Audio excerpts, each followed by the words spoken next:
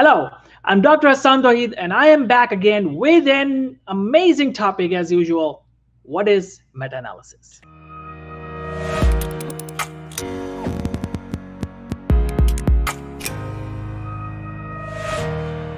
Yes, we will discuss that. And this video is for absolute beginners. If you have no idea what meta-analysis is all about, then this video will serve as a benchmark for your basic concept of meta-analysis. So let's begin. What is a meta-analysis? In order to understand what meta-analysis is, we need to understand different kinds of study designs, especially the review articles. So what are the review articles? Review articles are, in easy words, I'm talking to a person who has no idea about research so that everyone can understand. Even a 10 year old kid can understand if he's watching this video. So let's begin. Review article. What is a review article? You need to understand what a review article is. Review article is a combination of so many papers together. When you combine so many papers together, you write one paper, and that is a review article. Let's say you are writing a paper on the side effects of smoking, for example. So what you will do is you will see one article related to smoking, bad effects of smoking.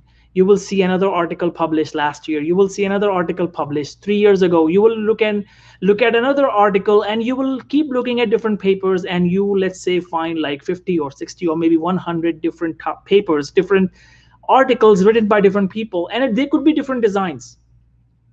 Some could be clinical trials, some could be observational studies, some could be just review articles, and you have a combination of so many papers together. Now, when you have these papers together, you combine the information written in those papers and you write one paper out of that information.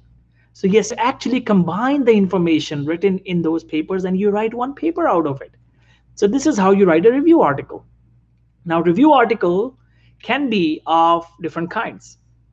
Traditional review, or simply known as traditional review that is simply known as literature review. Now, the second one is the scoping review. Another one is a mapping review and systematic review and meta-analysis. So now let's talk about the most common kinds of review articles, traditional review or literature review. So what is a traditional review, also known as literature review? When you combine information from previously published papers, let's say you saw 10 papers related to a topic, let's say squamous cell carcinoma of XYZ, you saw 10 papers, now you will write one paper combining the information from those 10 papers. That's a traditional review or literature review. How do you write it? You just write it like an essay. It's a broad topic, you write it like an essay. You don't follow any guidelines usually, and you just follow it and you complete your paper. That's it. Now, systematic review is the second most common in the review articles. And it's a way ahead. It's a, it's a, it's a step ahead of a traditional review. So it's a kind of kind of complicated little complicated. Systematic review is a little complicated than a traditional review. So systematic review is when you write paper same review article in a systematic way. But here you don't have a broad topic. You have a narrow topic because you are answering a research question so yes, you're answering research question and you follow certain guidelines like PRISMA, preferred reporting items for systematic reviews and meta-analysis. So you follow PRISMA guidelines to write a systematic review. And you check the quality of the articles that you have included at the end to make sure that the quality of the articles are really well. Because in the literature review, the, the, the normal traditional review, you don't check the quality of the articles. You include all sorts of articles. So the quality of the evidence can be good or bad, sometimes average, you don't know. But in systematic review, your aim is to make sure that you write the highest quality of evidence and the strength of evidence is really, really strong. So that's why you check the quality. So you have a research question in systematic review, you follow PRISMA guidelines, you also have a strict inclusion exclusion criteria. Yes. And then you check the quality and this is your systematic review that then you write a systematic review. And the purpose of systematic review is to make a systematic review, a review that is so systematic that anyone who follows the method that is given by you or everything that you did in your paper if anyone repeats it, he or she will get the exact same result. This is what systematic review is, and that's why we call it a systematic review because it's a system. Now, coming to the most important one, the main topic of today meta analysis. So, meta analysis is also a review article. Yes, and the most advanced kind of review articles in simple words. So, yes, don't get scared of the word meta analysis. Remember, meta analysis is also a review article. Just like traditional review, just like systematic review, meta analysis is a review article. In fact, let me make things easier for you. Systematic reviews become meta analysis. Let me repeat that again. Systematic reviews become meta analysis. Yes, you convert your systematic review into meta analysis. Now, how do you convert systematic reviews into meta, analysis? Remember, every meta analysis is a systematic review, actually. You first do a systematic review and then you see if it will become a meta analysis or if it will be, remain a systematic review. That's it. That's why all, all meta analysis papers are actually systematic reviews. But not all systematic reviews are meta-analysis. For example, like every master student is a master student, right? But not everyone goes on to do PhD. Same thing, systematic review, let's say master student. Not every master student goes and does PhD. Same thing with systematic review becomes a meta-analysis. So every systematic review is not a meta-analysis, but every meta-analysis is actually a systematic review. Just like every PhD student has to do masters first, right? So you can relate it now uh, to understand this, that systematic reviews will become meta-analysis, but not all systematic reviews will become meta-analysis. Now, let's say you have done your systematic review. Now you have collected your data. Now it's a step to decide whether it will become a systematic review or it will become a meta-analysis. Now, how do we decide it? Meta-analysis is actually also a combination of so many papers, but similar papers. Yes, so you need to see, you need to see if your data is homogeneous or heterogeneous. If the studies are heterogeneous and they're really, really different, then it will remain like a systematic review and you will do the narrative summary of that paper. But if the studies are homogeneous or they are somewhat homogeneous, uh, homogeneous, that means they are a little bit heterogeneous, they are a little bit different, but not too different, then yes, they can become meta-analysis, highly likely. In fact, they will become meta-analysis. You will apply the statistical rule and you will make it a meta-analysis. So now we understand how systematic review can become meta-analysis. Now coming back to the definition, what is a meta-analysis? What is the meta-analysis? Meta-analysis is actually a statistical systematic review in easy, easy language. Remember, I'm talking to beginners. If you are an already accomplished professor, you have written systematic reviews and meta-analysis, I know you would say what kind of definition he is saying. I'm talking to the beginners here. So it will help them and possibly it will help many of you as well even if you have written papers before. So systematic reviews become meta-analysis we know this and meta-analysis is a statistical systematic review. It's a statistical review. Quantitative. In statistic statistical um, analysis or statistical paper we mean um, like quantitative paper. That means the numbers are involved. So if your paper has so many numbers involved so many numbers involved that now you have to use statistical data analysis software to analyze your data, then this systematic review will become a meta-analysis. Yes, so remember a systematic review where you need to use software to analyze data, that review article is known as meta-analysis. And the studies should be homogeneous or little bit homogeneous to make sure that it is a meta-analysis. So this is what meta-analysis is all about. So what is the definition of meta-analysis? Pooling of results. Pooling of results of different studies is meta-analysis. So now a little bit difference. In an ordinary systematic review that is narrative we combine different kinds of papers. They can be totally different. And then we write a narrative summary right?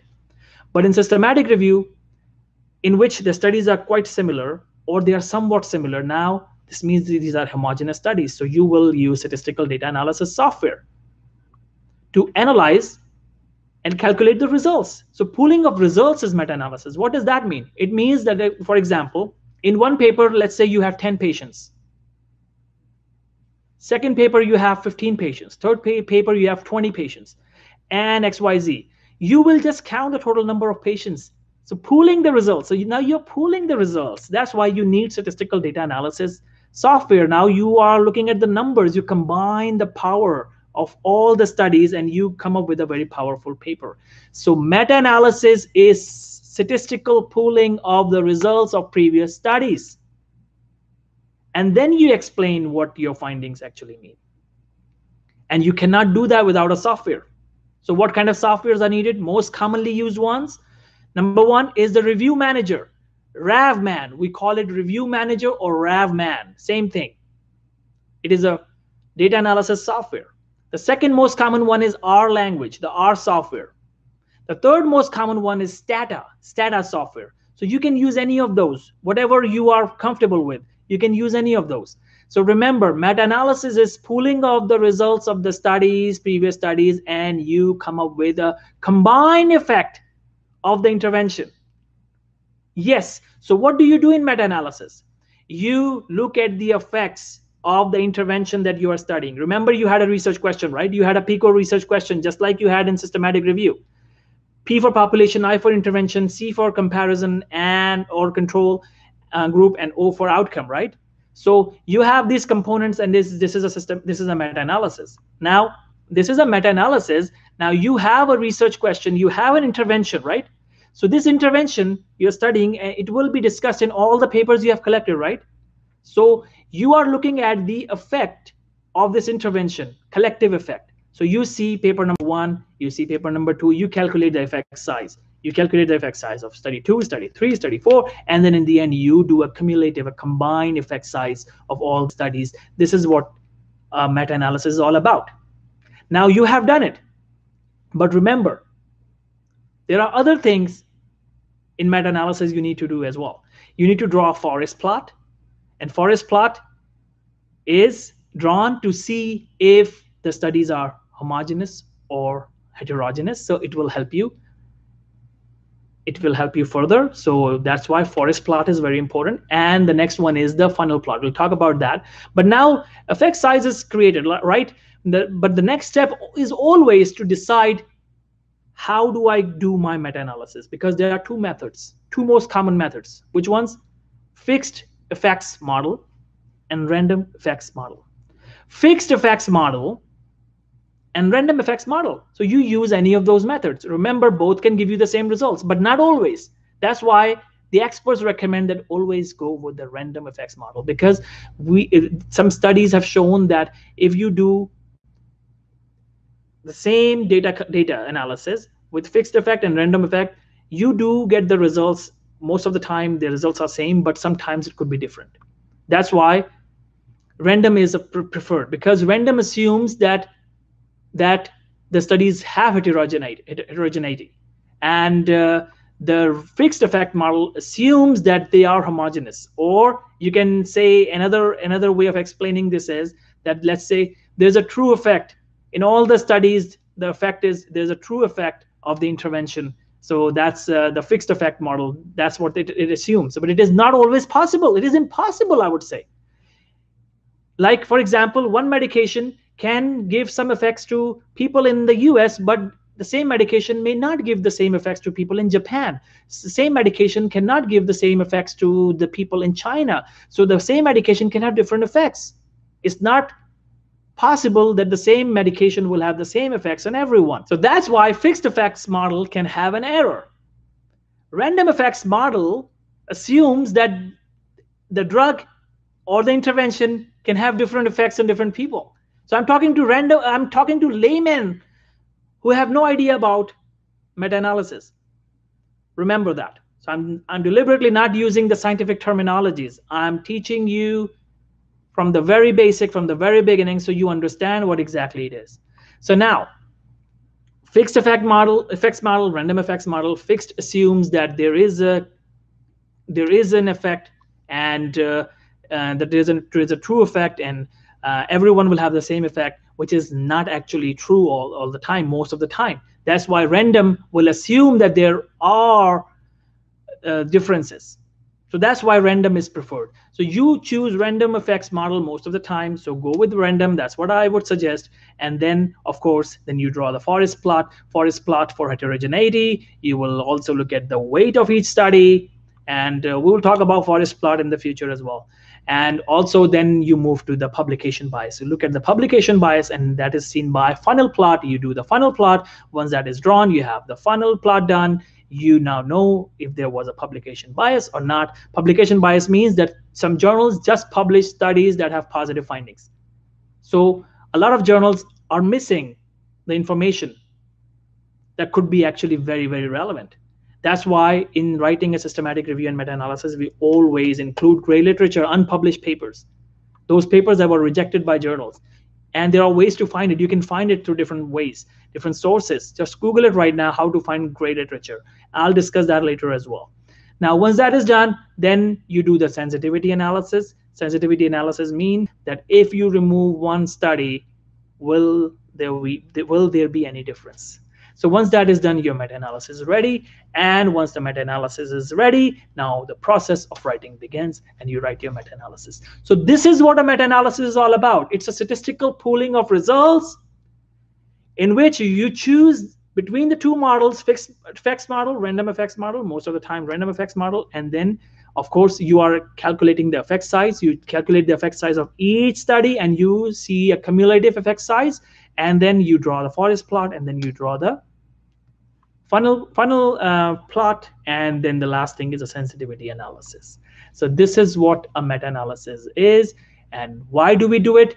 To get the strongest evidence, to increase the strength of evidence, to increase the precision, to increase the power of the results of the study. That's why we do meta-analysis. And who will do meta-analysis? You will do it with your team.